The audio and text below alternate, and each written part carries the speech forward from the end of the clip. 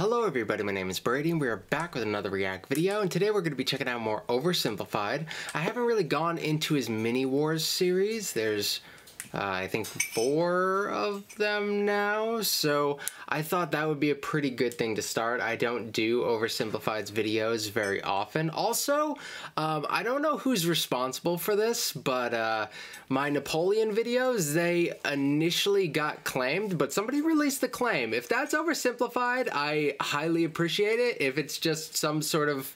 Uh, network stuff. I, I, whatever, whoever's responsible, thank you for that. I, I guess I didn't even ask for it. They just somebody decided to release the claim, so I thought that was uh, very cool of whomever's responsible for that. So.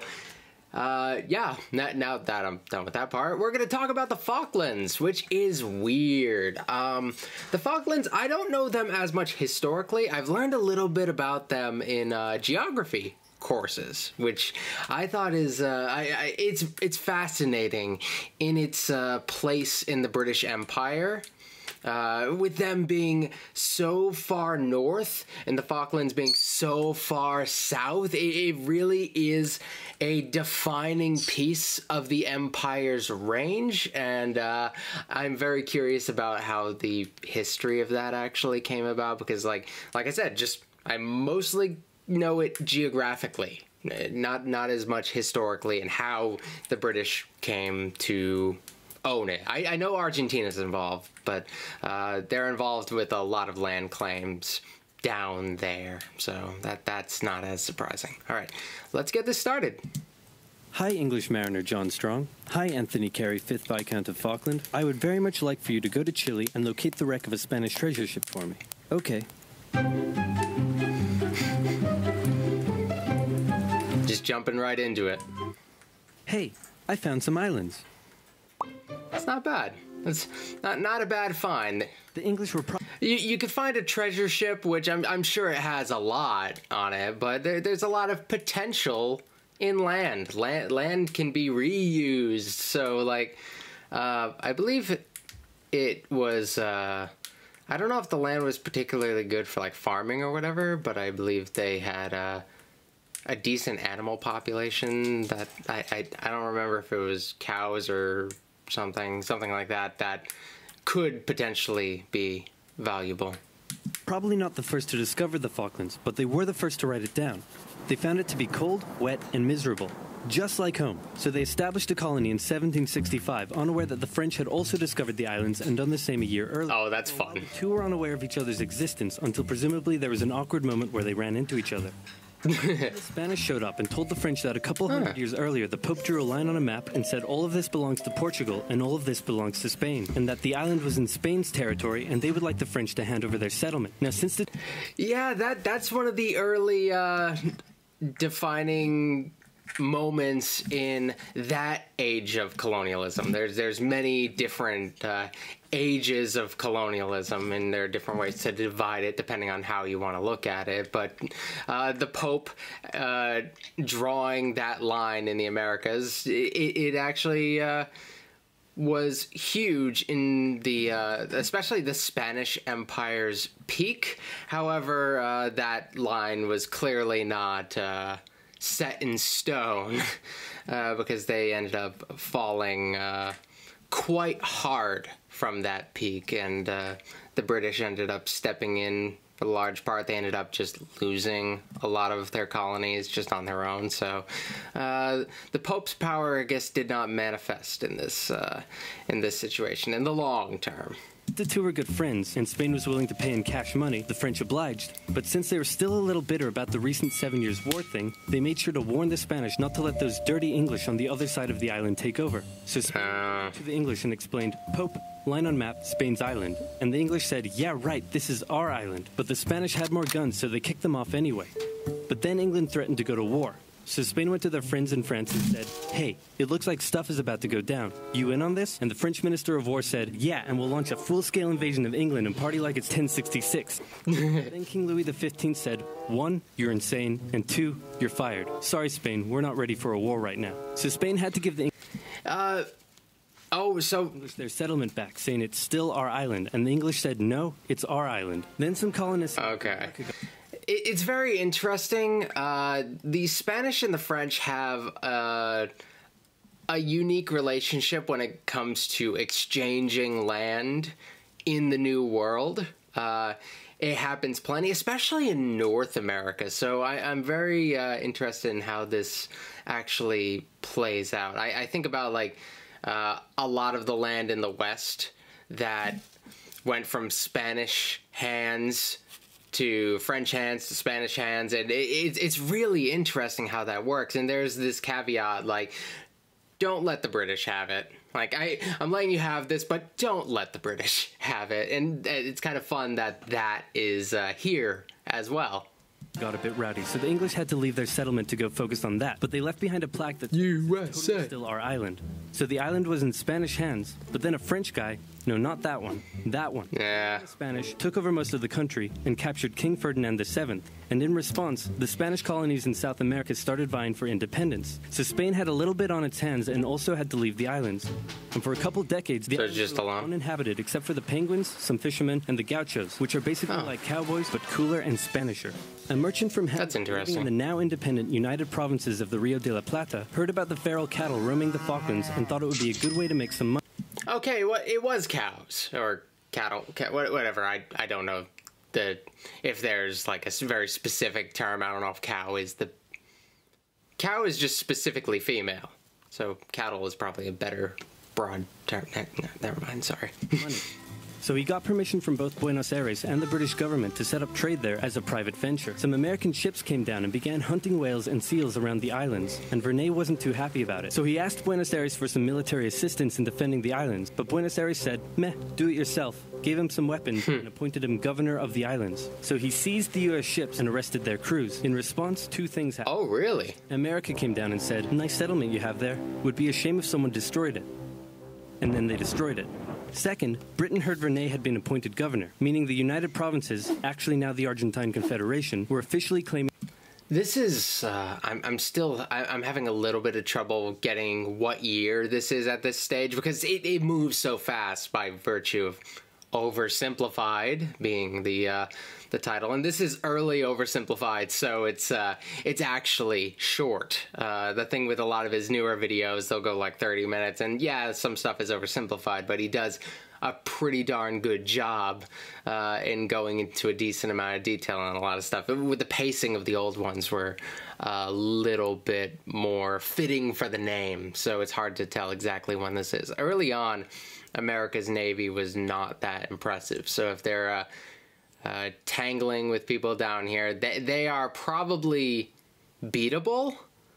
Uh, so I, I wouldn't be surprised if they uh, ended up doing just fine against the Americans if this is in that like really early stage where the Navy is not that impressive. I mean the islands as theirs. So Britain showed up and said, hey, didn't you see our plaque? And since they had more guns, they kicked them off the island, and the Philippines remained firmly in British hands for the next century. They officially became a crown colony in 1840. Port Stanley became the island's capital in 1845. The cattle hides from the island weren't worth much, so they imported sheep from Britain in 1851. Two world wars came and went, and all this. Oh, so the cattle wasn't worth much. Okay. Uh, I I feel like I remember learning about the cattle, though. I think it was in a regional geography course. It, it might have come up. I, I think it was in like a broader discussion about the British Empire and stuff, and we were just talking about like the different kinds of land that they controlled and how diverse the empire was and stuff like that. But uh, okay, sheep. Sheep was the way to go. I thought the cattle would be pretty useful, but I guess they didn't think so. Time the Argentinians never rescinded their claim over the islands. Now it's 1976, and after a couple civil wars, a new brutal military. Oh, we skipped a lot of time there. Fight against communism has taken control in Argentina, and by 1981, this guy was in power.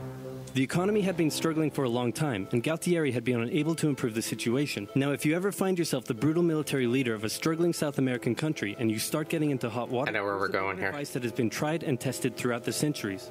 Start a war, Start a war, yeah. everyone from their misery. Galtieri knew how popular he would be if he could finally take back Argentina's last Malvinas from the occupying British. There had been proposals to cut British military spending, and the ice patrol vessel HMS Endurance had been withdrawn from the area. So the Argentinians assumed the British may not even bother doing anything about the invasion. After easily capturing the largely uninhabited South Georgia island, 600 Argentine troops were sent to the Falklands. The small number of Royal Marines and other British forces stationed there put up a small amount of resistance, but So with this, I, it makes me wonder how much this is even really worth it from a purely strategic standpoint. Like, uh, there are there's some positives and negatives. Uh, of course, having the British right next door is probably something that they don't really want at this stage. Um, but the forces are clearly not super significant. But like, it, let's say you were able to get them out of there and you don't have them nearby. Any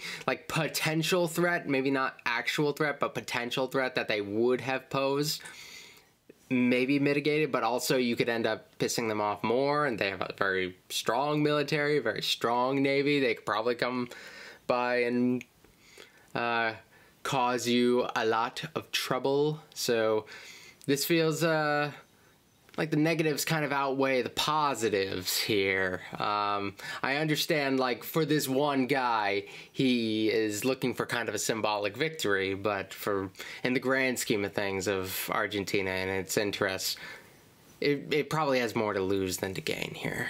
But in the end had to surrender to the larger Argentine force. Crowds in Argentina celebrated the news, but they were wrong to assume the British would do nothing because the person in charge of the United Oh, yeah. was this lady. Thatcher was a somewhat controversial prime minister, but whether you loved her or hated her, there was no denying that she was tough, like metal. Iron, for example. She immediately Yeah. Uh, I don't know that much about Thatcher, but she definitely has that powerful reputation. She's uh, she's associated pretty often with uh, Ronald Reagan, who was the uh, the American president during some of the big time during when she was in charge. Uh, they they were closely associated with one another. And uh, if she's anything like Reagan, which personally not a fan of Reagan, that's just me. Um, I won't deny that he had kind of a strong nature to him, and I, I'd imagine Thatcher, uh, following perhaps a similar brand of conservatism, would have. Uh, had kind of like that similar feel to her. Uh, Those two, they just defined conservatism for a generation, at least in the mainstream. Only now in America are we kind of teetering on like are we still in the Reagan era or is this the Trump era now? It's kind of hard to tell because like all the re- Republican presidents between Reagan and Trump uh, just felt like they were firmly part of Reagan's uh, legacy, uh, and it makes me uh, want to learn more about Thatcher and how uh, kind of that era of conservatism translated in a related but not exactly the same country. Yeah. He declared an exclusion zone around the islands and organized for a task force of over 100 ships to set sail for the Falklands. The United Nations expressed concern at the Argentine invasion. All South American nations apart from Chile backed Argentina. And since the United States had propped up the Argentine dictatorship, Reagan went to Thatcher and said, Could you maybe just let them have the islands? And Thatcher said no. Okay, here, have some weapons. Fighting a. See, like e- even when they're against each other, they're, they're uh, well. The United States knows how to uh, how to profit off of a conflict. We've uh, we've armed so many people. Some that became our problem later on. Uh, we we sell. We're we're, we're huge arms manufacturers. It's it's it, uh, the. Uh, the arms manufacturing industry is like in, insane in our country. Thousand miles from home. We don't make much, but we make guns. They requisitioned civilian cruise ships and containers, and they used British owned Ascension Island as a forward base. By the time they arrived at the Falklands in May, the Argentine forces had had time to entrench themselves. The first task for the British was to gain control of the seas, which they did easily. On the 2nd of May, a British submarine sank an Argentine cruiser. The sinking was controversial, as it occurred outside the British exclusion zone. It was also the hmm. largest loss of life in a single incident during the war. And in response, the Argentine Navy withdrew from the islands. The next task for the British was to gain air superiority. While the Argentine Air Force controlled the skies, they were able to inflict considerable damage on the Royal Navy below. Days after the sinking of the General Belgrano, two Argentine super étendards carried out a raid on the HMS Sheffield and sank it with an Exocet missile. For weeks, the Argentine Air Force would continue to carry out raids and inflict heavy casualties on the Royal Navy, with British Sea Harriers doing their best to take out as many of the Argentine aircraft as they could. While the battle in the skies raged on, San Carlos was chosen as the best landing site for the British ground forces. An SAS raid took out Argentine defenses on Pebble Island, and the HMS Alacrity sailed through Falkland Sound to flush out any Argentine supply ships. The landings began on May 21st, with Argentine aircraft carrying out full-scale raids on the task force ships taking part in the landing, damaging several and sinking a few. But anti-aircraft cannons and Sea Harriers shot down many of the aircraft in what became a major turning point for air superiority, and a beachhead was successfully formed. Then the ground troops This is pretty uh, pretty scientific how the uh, how the British are coming in and doing this. They they're doing. I like that they uh, were were consistent with the times when it came to the flags. Like I like that earlier in the video, it was the old flag, and that here was the new flag. He do, he doesn't really have to do that.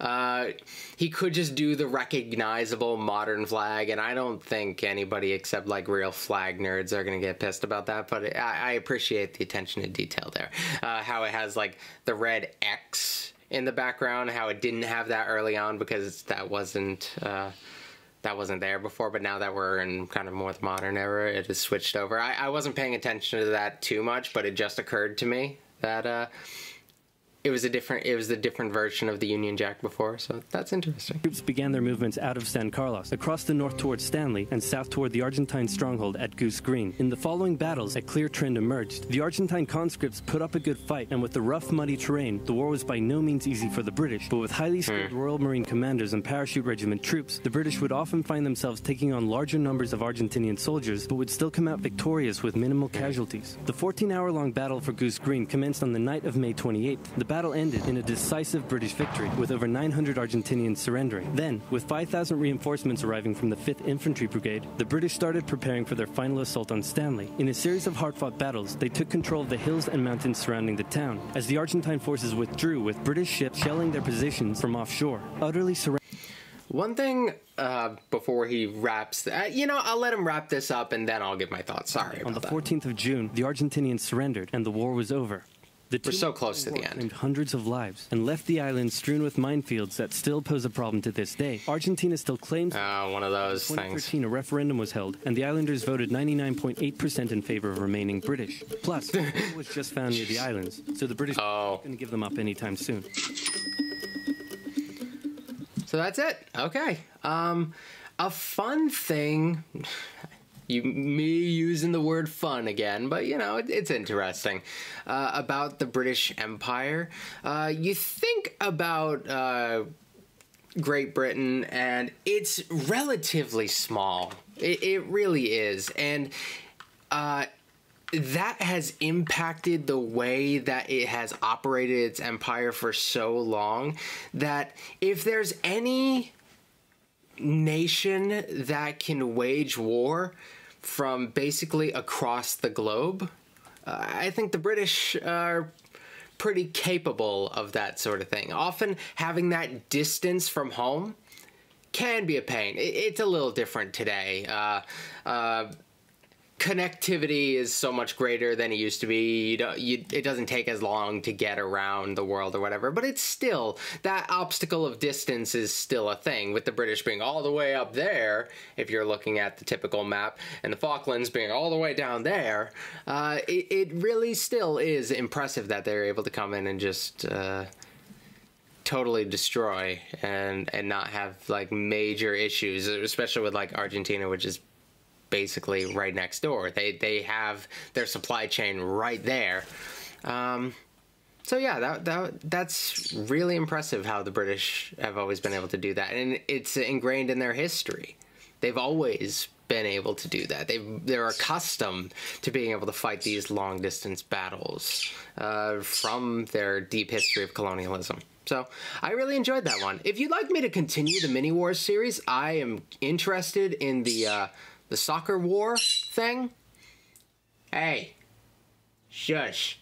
I'm interested in the soccer war thing because I feel like that's something an American could not perfectly Oh, sorry, not the soccer war, the football war. I did it. I did the thing.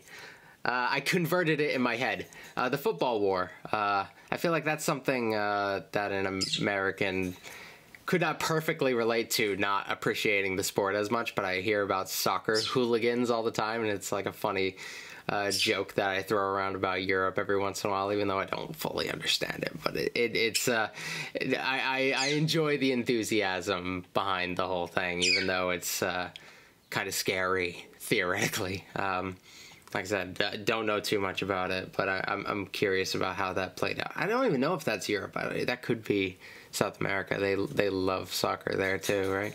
Football. I'm going to say soccer because I'm an American and I'm not going to pretend I'm not. So if you guys want me to check that out, uh, let me know in the uh, comment section below, and I will see you tomorrow with another video. All right.